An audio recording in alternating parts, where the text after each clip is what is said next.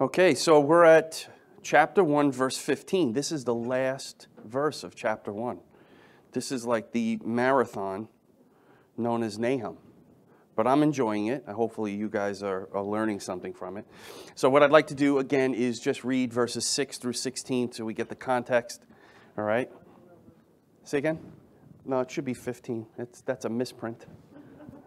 I, I wanted to show my fallibility, showing is that the scripture is the only infallible word of God. All right, let's read. Who can stand before his indignation? Who can endure the burning of his anger? His wrath is poured out like fire, and the rocks are broken up by him. The Lord is good, a stronghold in the day of trouble, and he knows those who take refuge in him.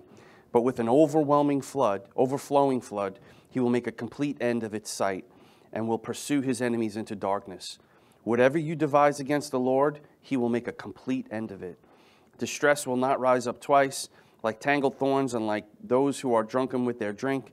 They are consumed as stubble, completely withered. From you has gone forth one who plotted evil against the Lord, a wicked counselor. Thus says the Lord Though they are full strength, and likewise many, even so they will be cut off and pass away. Though I have afflicted you, I will afflict you no longer. So now I will break his yoke from upon you, and I will tear off your shackles. The Lord has issued a command concerning you. Your name will no longer be per- perpetuated. I will cut off idol and image from, from the house of your gods I will prepare your grave, for you are contemptible. Behold, on the mountains of the feet of behold, on the mountains the feet of him who brings good news, who announces peace. Celebrate your feasts, O Judah, pay your vows, for never again will the wicked one pass through you. He is cut off completely. This is good news for the Israelites. So let's take a uh, quick review. Uh, last week we went through some of this. So the book of Nahum opened with a hymn that exalted the character and the person of God, and we've gone through that several times. First, in these verses, uh, the verse uh, section between 12 and 15, 12 and 13, God will liberate the afflicted. In other words, the Israelites will be freed from the oppression of the Assyrians and their internal shackles. Next, God will judge the oppressor. He's going to judge Assyria for what they've done and bring complete destruction upon them because of their hatred against God and hatred towards his people. Finally, today, we're going to hear the announcement of good news. This ends up being a proclamation of the gospel. The main idea is this the omnipotent God is able to deliver his people and defeat their persecutors, no matter how powerful they appear to be. So there's two things that are happening. The Israelites are being delivered and the Assyrians are being conquered. So again, here it is Behold on the mountains the feet of him who brings good news, who announces peace. Celebrate your feasts, O Judah. Pay your vows, for never again will the wicked one pass through you. Again, he is completely cut off. In verse 115, in many ways, Nahum 115 is the key verse of this entire book. The victory announcement comes at last. Having told of the Lord's goodness and his awesome power, Nahum then tells of the Lord's ultimate deliverance of the people of Judah. The messenger returns from battle to inform God's people that the divine warrior is victorious. Life as usual can return, but not really life as usual. Rather, life as usual as it was supposed to be under God. As when, when God says, pay your vows, celebrate your feasts. He again wants them to celebrate the things that He's commanded them to celebrate, to draw them closer to Him. Um, those were things to be rejoiceful about, that God was your father, that God was in control, and Israel was the chosen nation. We were, that Israel was His people. This ultimately is going to foreshadow the ultimate final deliverance of God's people. There's going to be a final coming of Jesus to the earth where all of God's enemies will be cut off completely and scattered from his presence. And all those who are his are going to be gathered together with him to be with him forever. So this has immediate context in uh, Nahum's day with uh, Judah and Assyria, and it will have future significance for the final day of um, the final day of the Lord. The contrast between the fate of the godly and the wicked is nothing but good news to Nahum and the people of God. Now, we're going to learn about this in a second. The time period of Nahum's prophecy is key to the interpretation of the verse. In one sense, the meaning is universal. God works at all times. He's constantly working in the hearts of his people, and he's constantly working against those who oppose him. He's the Lord of all history who delivers the oppressed and judges the oppressor. In that sense, the message of Nahum is timeless. Just like every book of the Bible, we can glean from and learn aspects of God and how He, he works out in the unfolding of history. We look at the book of Nahum and see that this happened for a specific people at a specific time, yet the principles behind them can be carried through till today. And ultimately to the end, when God completely cuts off all of the people who were um, rebelling against Him from Him, finally. The above verse also appears in Isaiah 52 7. You, you, you, I'm sure you've heard on the mountains of the feet of him who brings good news. That should be familiar territory to most of us. How beautiful upon the mountains are the feet of, him who brings good news, who publishes peace, who brings good news of happiness, who publishes salvation, who says to Zion, Your God reigns. Um, when a nation went to battle, they didn't have text messaging right? It wasn't like you knew what was going on in the battle. So they relied on someone to come back from, from the field, from wherever the battle was taking place, to tell them how things went. So this person would run back with news.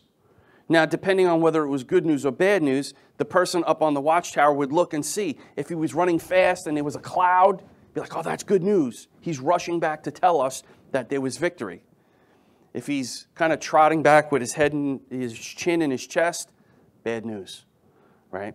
So, how beautiful are the feet of him who brings good news?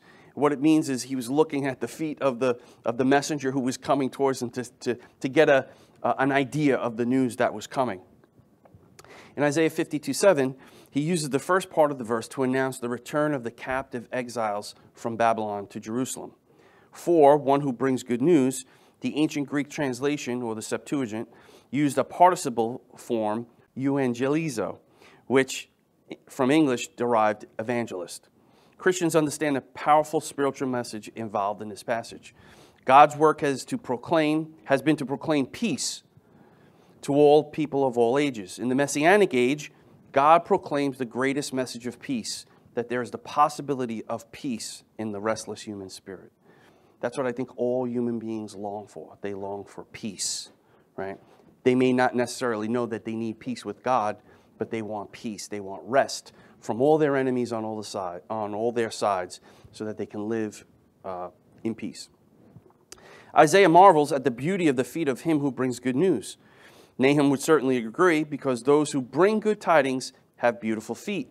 They partner with God for the salvation of men. Now, beautiful feet doesn't mean nice polished nails. I was going to put a picture of that up, and I said, no, it's breakfast time. They might get upset. You know, you put an ugly, an ugly foot and a nice foot. So, the feet speak of activity, motion, progress, and those who are active and moving in the work of preaching the gospel have beautiful feet. Right? When we're out on the um, the streets in Port Jefferson preaching the gospel or going door to door or whatever it is, wherever it is we're, we're going, obviously that message is brought by us because we're walking to people, we're coming to people. So that's where beautiful feet come into play. In Isaiah, the good news is, is the coming of the Messiah. In Nahum, the good news is the defeat of the enemies of God's people. Now, we're going to, again, we'll see this uh, similar situation in Revelation in uh, 17 and 18 which described the fall of Babylon, representing the world system and all of its support structure. Revelation 18, verses 9 through 19, shows how the kings and merchants of the earth mourned the fall of Babylon. But Revelation 18 through, through 19 shows how heaven rejoiced over the fall of the world system. What was mourned on earth was applauded in heaven. And the same principle applies in Nahum's prophecy of Nineveh's fall right? So we have a, a righteous rejoicing, knowing that the enemies of God are being are getting justice, and we know that those whom God has mercy on are being rescued. So here, once again, we highlight the attributes of God: justice towards those who rebel against Him, and mercy and grace towards those who are His. Oops. Revelation 18, and the kings of the earth who committed sexual immorality and lived in luxury with her will weep and wail, wail over her when they see the smoke of her burning. They will stand far off in fear of her torment and say, Alas, alas, you great city, you mighty city, Babylon, for in a single hour your judgment has come. Anybody want to uh, venture a guess as to who Babylon is in Revelation? Yes. Jerusalem. Yeah, it's, it's, it's Israel, right? It's the whore of Babylon, right? Why is it a whore?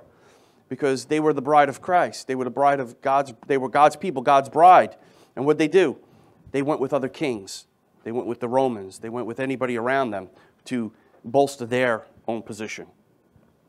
Revelation 18. Rejoice over her, O heaven, and you, his saints and apostles and prophets, for God has given judgment for you against her. Then a mighty angel took up a stone like a great millstone and threw it into the sea, saying, So will Babylon, the great city, be thrown down with violence and will be found no more. So here we see uh, the people on the earth, those who are in rebellion to God, weeping and wailing over the fall of Babylon. Meanwhile, they were a wicked people. But then in, in chapter 18, verse 20, you see that they're rejoicing in heaven because justice has been done. These were people who were in rebellion to God that God finally gave what, what they deserved. Right? so the, the, the mighty angel took up a stone like a great millstone and threw it into the sea. So Babylon, the great city, be thrown with violence and will be found no more. This is exactly what's happening to Assyria. Okay, two different countries though. Um, this came up before. I guess I screwed up the PowerPoint. But rejoicing is not in this context gleeful gloating at the misfortune of others. Rather, it is pleasure at the vindication of God and his promises. Right? So when we look at someone who doesn't know God, okay, we don't gloat over that. In fact, our heart should break for people who don't know God because they're running headfirst into hell and don't even realize it. I mean, some do, and they don't care, but others don't. There is a way that seems right to a man, and in the end, it leads to destruction. That's why it's our job to run. I think it was Spurgeon says, if they go to hell, let it be over us grabbing their feet so that they don't go. Our heart should be breaking for the people who don't know him. That's why the message of peace is good news to the people. Roger Ellsworth has written Christians are not to live in the fear of their adversaries, powerful as they may be. Why are we not to give way to fear? The Apostle Paul gives us the following reasons. So, again, you had Judah living in the time of Assyria who's coming in and gonna, is going to trounce them and has you know, caused problems in Judah already and certainly to the other nations around them. But how should we view what's going on in our world today? So, this is where we're going to be able to apply this uh, to our time right now and listening to what the Apostle Paul says. The opposition of our adversaries is temporary.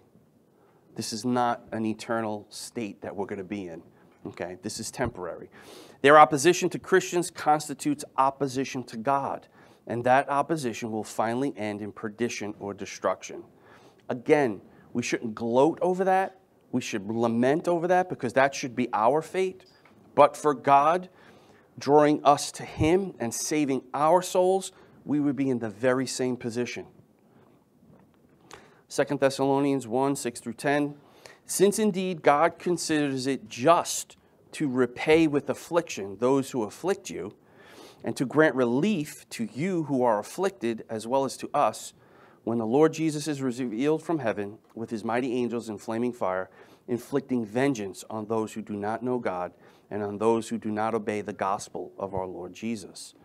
They will suffer the punishment of eternal destruction away from the presence of the Lord and from the glory of his might when he comes on that day to be glorified in his saints and to be marveled at among all those who have believed because our testimony to you was believed.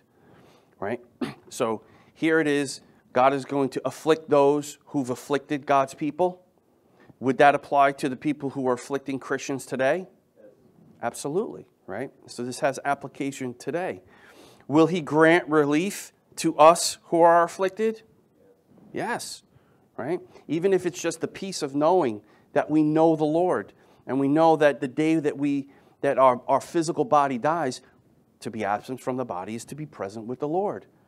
Right? If we live, we live. If we die, we're, we're the Lord's. If we live we're the Lord's, if we die we're the Lord's, either way, we belong to the Lord.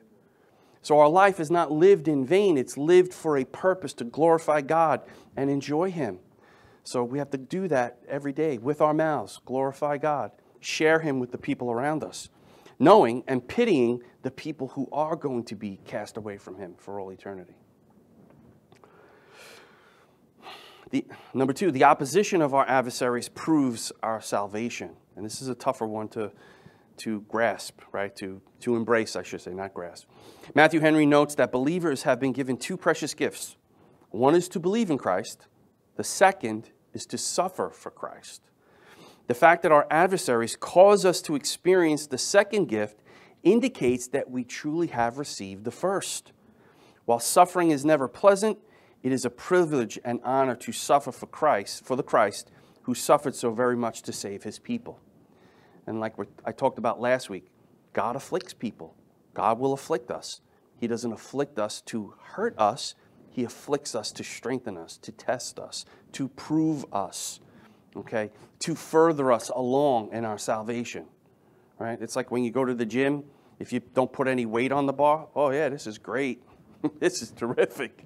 It's when you put weight on the bar that, that things get a little bit more difficult. But without the weight, you're not going to build the muscles that you want to build, right? So you're doing it for nothing. So God here puts us in this little atrium known as the world, right? And He puts people in our past that are going to cause affliction and cause us to grow. First Peter says, Beloved, do not be surprised at the fiery trial when it comes upon you to test you. This is a test. It's only a test, right? Remember, stay faithful. As though something strange were happening to you. In other words, this should be expected as a Christian. If you're going to be vocal about your faith, people are going to oppose you, right? Um, if you're not being opposed, what does that say? Well, maybe you're not talking about your faith. But rejoice insofar as you share in Christ's sufferings, that you may also rejoice and be glad when his glory is revealed. If you are insulted for the name of Christ, you are blessed, because the Spirit of the glory of God rests upon you. But let none of you suffer as a murderer or a thief or an evildoer or as a meddler. So we're going to suffer, right? Whether we suffer for sinning or we suffer for righteousness' sake. Paul's, uh, Peter's saying, don't suffer because of your sin. Suffer because of your righteousness, right? When you live a life that glorifies God, people are going to oppose you. It's just the way it is. Yet if anyone suffers as a Christian, let him not be ashamed, but let him glorify God in that name. For it is the time for judgment to begin at the household of God. And if it begins with us, what will be the outcome for those who do not obey the gospel of God? And if the righteous are scarcely saved, what will become of the ungodly and the sinner? Therefore, let those who suffer according to God's will entrust their souls to a faithful Creator while doing good. So when someone says, Oh, is it God's will for you to suffer? I think Peter thinks it is. Entrust, let those who suffer according to God's will entrust their souls to a faithful Creator. Why is that comforting? Amen. Well, yeah, no, listen, those, those, are, those, those are all correct answers. And, you know, I, I have something in my mind. Jerry's right. So when you, when you entrust your soul to a faithful creator, you trust in the sovereignty of God. He's faithful. He has a decree. He knows the end from the beginning. He's, he's designed all this the way it's, it's happening right now. It doesn't mean that you're not free to act. You are free to act and you're responsible for what you do. So, in the midst of this, remain faithful to Him because He's faithful to you. You trust that God is sovereign, that this isn't happening outside of His plan. He has a reason for it. Think of Joseph when he was thrown into the pit, right? Did Joseph remain faithful? Yes. Yes. He was thrown into a pit.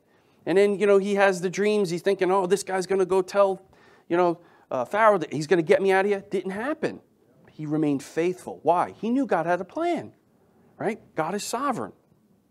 Think of this one, Philippians 1:27.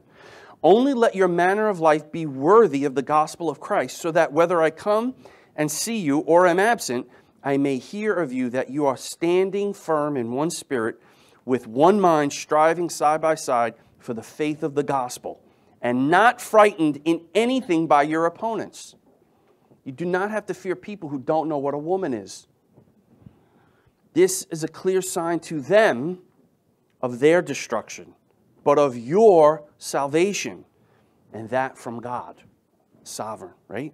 For it has been granted to you that for the sake of Christ you should not only believe in him, but also to suffer for his sake, engaged in the same conflict that you saw I had, and now hear that I still have. So Paul is explaining to them he had suffering, he's still in suffering, and expected.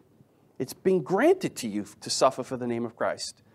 Don't suffer as a sinner, a thief, a meddler. Suffer as a Christian. When you proclaim the gospel and people oppose you, Praise God. It's a sign of their destruction, but your salvation.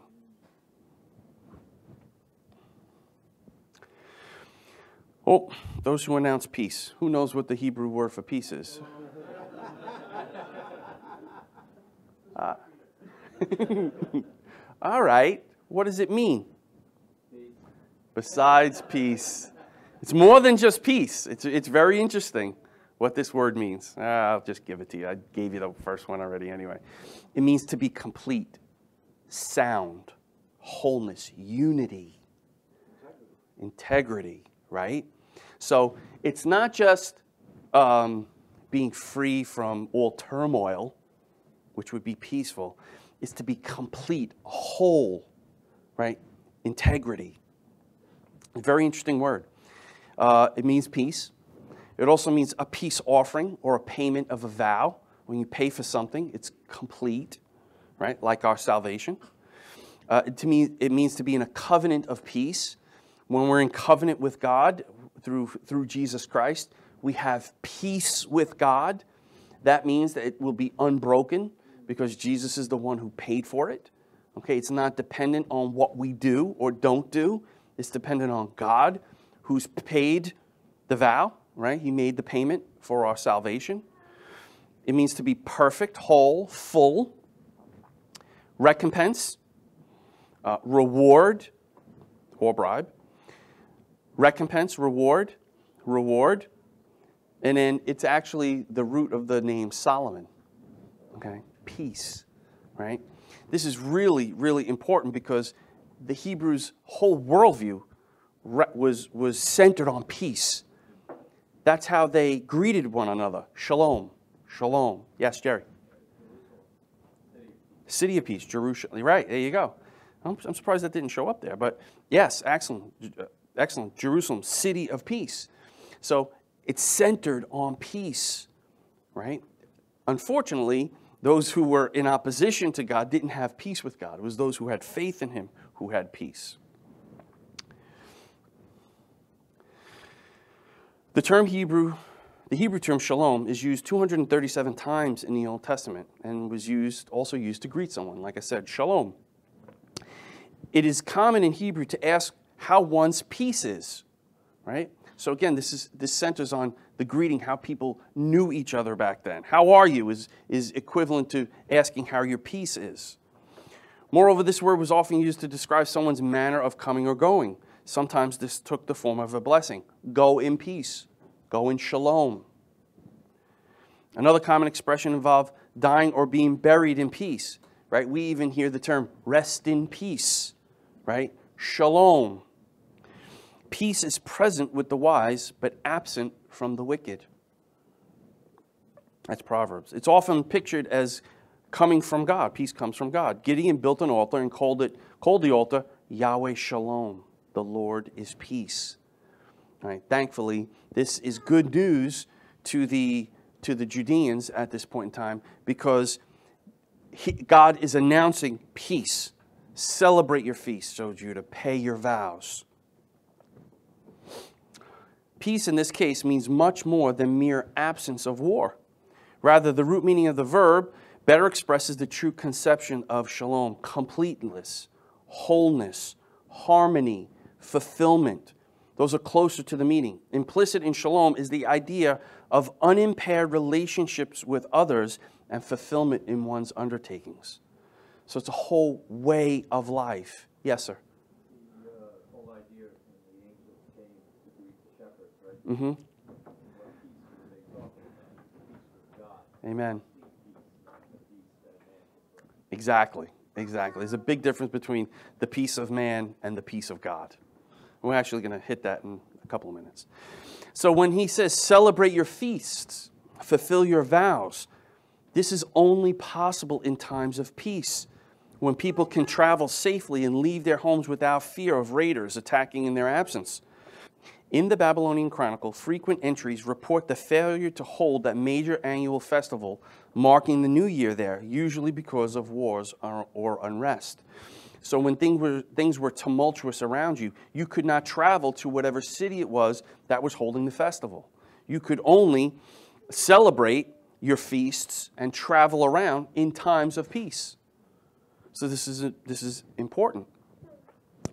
God calls for the celebration of festivals in the new safety of the countryside. He calls for the people to do what they have promised in their vows made while praying for deliverance. So while they're praying, Lord, deliver us, now he says, pay your vows. I'm delivering you. No longer will they be overwhelmed, over, flooded over by the Assyrians. Right? The Assyrians are going to be overwhelmed and flooded by God. Right? So no longer will Israel be overwhelmed by a wicked invading army. Peace and its security will come. Such prophecy brings hope to those who have trusted in Yahweh. When your faith and hope and trust are in Yahweh, you will have peace in the midst of the storm. Right? Peace isn't um, determined by what's going on around you. Peace is determined by what's going on within you right? So that when things are going wrong on the outside and, and it looks horrible, you know on the inside I have peace with God. I'm at rest because I'm in union with God, the God of peace. Similarly, God's people celebrated the destruction of the evil world power that persecuted believers in the last days. When evil empires fall today, believers celebrate because their evil and oppression of God's people have ceased. And there will be a future time when the people of God will celebrate the ultimate and final destruction of all of the enemies of God for all eternity. Permanently. There's going to be a time when there's permanent peace on the earth. Never again will the wicked one pass through you, is what God tells Judah. He is going to cut them off. He is cut off. Assyria is cut off completely got to remember where Judah was at that time, being surrounded by Assyria and all the other nations, right? They, they always had the imminent threat of someone coming in and crushing them. And here God says, I'm going to protect you and deliver you. Finally, Paul takes up part of this same message in Romans where he says, It is written, How beautiful are the feet of those who bring good news. I think this is the only verse uh, in Nahum that's quoted in the New Testament. Here is the messenger. Here, the messenger is a preacher who brings the good news. And the news is called the gospel, which means good news. It tells of deliverance from sin through the victory won through the death of the Lord Jesus Christ. And these same blessings flowing from Christ's death are available for all who will come to him in repentance and faith. You know, we often look around at what's going on, you know, in the society and we say this is horrible. But it can also be a time of great harvest because you know people are in turmoil. They don't know what's going to happen in society. We do. We know that ultimately this is going to come to an end and God is going to bring full restoration and peace on earth. So you can bring the good news to somebody and it be really good news. Why? Because you have ultimate peace with God and you will live with God in eternity forever, not to be surrounded with the wickedness and the evil we see going on today. Previously explained, Paul previously explained this in Romans chapter 5. He says, Therefore, since we have been justified by faith, what does justified mean? Yeah, that's a pastorism. Yeah, say again. Declared legally innocent in God's sight because of what Jesus has done for you. Right? So that's your justification. You're declared innocent. And our sanctification is working out practically what we've been declared legally, right? It's not that we work in order to be justified, we're justified already. Now we have to let our life and our, and our actions match the legal declaration that God gave already. Right? The reason this is good news is because the verdict, from the, uh, the verdict for the trial comes at the beginning, not the end. We're not waiting to see if we're going to be saved. That's what all the works righteousness cults do. I got to do this, I got to do that. And at the end, are you saved? I don't know. When I ask the Mormons, are you sure you're, you're, you have peace with God? Are you sure you have salvation? I don't know. Well, that ain't good news. Keep it. Keep it. I have good news. You could be declared legally innocent today by placing your faith and trust in Jesus. Verdict done. Now you can celebrate with joy. You have peace with God. So that when you see the evil and the stuff happening around us, I don't want to say it doesn't matter. It does matter. But inside, you're settled. You know what's you know who's in control. You can entrust your soul to a faithful creator who will deliver you. So, since we have been justified by faith, we have peace, shalom with God through our Lord Jesus Christ. Through him, we also have obtained access by faith into this grace in which we stand, and we rejoice in the hope of the glory of God. Not only that, but we rejoice in our sufferings, knowing that suffering produces endurance, and endurance produces character, and character produces hope. And hope does not put us to shame, because God's love has been poured into our hearts through the Holy Spirit who has been given to us. I've been kind of harp. Say again. Somebody said that. I've been kind of harping on this, you know, going through suffering and affliction thing, because I think I need to hear it. I need to be reminded over and over and over that suffering is part of the life. Suffering is part of what happens to us as Christians. We're not meant to skate through life. You know, easy. Oh, this is the easy life. I see so many people putting stuff up on Facebook. Oh, he's at the beach. This is the easy life. I'm like, yeah, it's easy now. It's easy now. It's not going to be easy later. Acts 10. So Peter opened his mouth and said, Truly, I understand that God shows no partiality, but in every nation, anyone who fears him and does what is right is acceptable to him. As for the word that he sent to Israel, preaching good news of peace through Jesus Christ, he's the Lord of all. You yourselves know what happened throughout Judea, beginning from Galilee, after the baptism that John proclaimed, how God anointed Jesus of Nazareth with the Holy Spirit and with, and with power. He went about doing good and healing all who were oppressed by the devil, for God was with him. Again, this is the beginning of the new creation. Right, we see in Genesis, in the beginning, God created the heavens and the earth, and John, in the beginning was the Word, and the Word was with God, and the Word became flesh and dwelled among us. We beheld His glory, right? This is Jesus starting the new creation and starting to heal the sick and the oppressed, showing that there's going to be a reversal of, of the fall. Peace. For those who put their trust in Jesus as Messiah, Jesus says, Peace, shalom, I leave with you. My peace I give you. Not as the world gives, do I give you. Let not your hearts be troubled, neither let them be afraid when you have peace from God, it's not like peace with the world. We could be at peace with each other, and something can happen, and that peace can be disrupted in a second. Not with the peace from God. That's settled. He will never, He will never leave you or forsake you. You are in union with Him. It's done. And the reason I say this, Jesus says, Let not your hearts be troubled. I always look back to Deuteronomy 20 and it says, When you go out to war against your enemies, and you see horses and chariots and an army larger than your own, you shall not be afraid of them. For the Lord your God is with you, who brought you up out of the land of Egypt. And when you draw near to battle, the priest shall come forward and speak to the people and say to them, Hear, O Israel, today you are drawing near for battle against your enemies. Let not your heart faint. Sounds a lot like, Let not your hearts be troubled. Do not fear or panic or be in dread of them. For the Lord your God is he who goes with you to fight for you against your enemies, to give you the victory. Right? In Deuteronomy, the priest went into the middle of the, uh, the battlefield with the soldiers and said, Okay, let not your heart faint. We're gonna, God's going to deliver us. In John 14, this is Jesus coming in the midst of his disciples saying, Let not your heart grow faint. Go out, take the world. Right? This is part and parcel of the Great Commission. Go into all the world, teaching them to do everything I told you, baptizing them in the, in the name of the Father, Son, and Holy Spirit, and I will be with you even till the end of the age. Do not fear your enemies. So easy, easy to be taken over by fear. Your flesh feels it. Oh my goodness, this is disruption. First, you need that inner peace. You need to set apart Christ as Lord. You need to repent of your sins and trust in Him, knowing that you're entrusting yourself to a faithful Creator. Okay? Knowing that He's sovereign over all things. Once I know that, then I can go out into battle. And I forget what soldier who said it says, he says, I, I go right into battle. I know that I can't die one day sooner than God would permit because He's sovereign. So, take the meaning. Yes? Stonewall Jackson.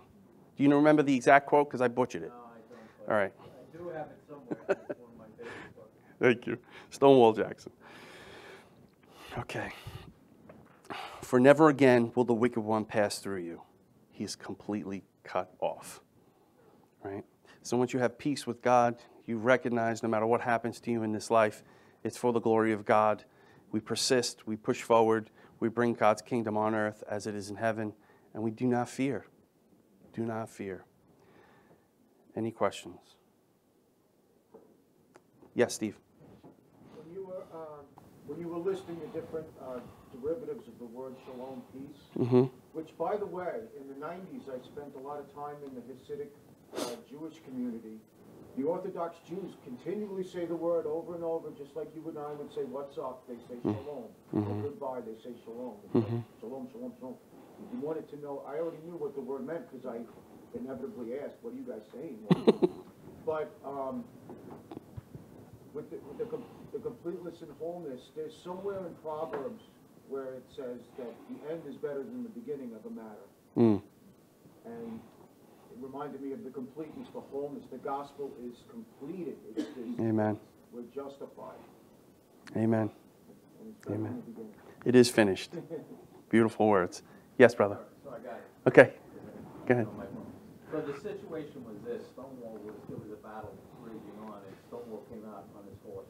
And One of the troops, uh, was, uh, he admired the fact that he seemed to have no fear. He said this, "My religious beliefs teach me to feel as safe in battle as in bed. God has fixed the time for my death. I do not concern myself about that, but to be always ready, no matter when it may overtake me. That is the way all men should live, and hmm. then all would be equally great." Amen. Amen. The funny thing, it's a religious belief either way. Whether you don't believe, that's a religious belief. Whether you do believe, that's a religious belief.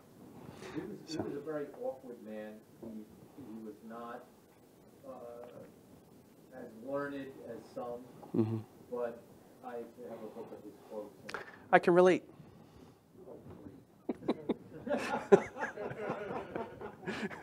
All right, let's let's close in prayer if there aren't any more questions.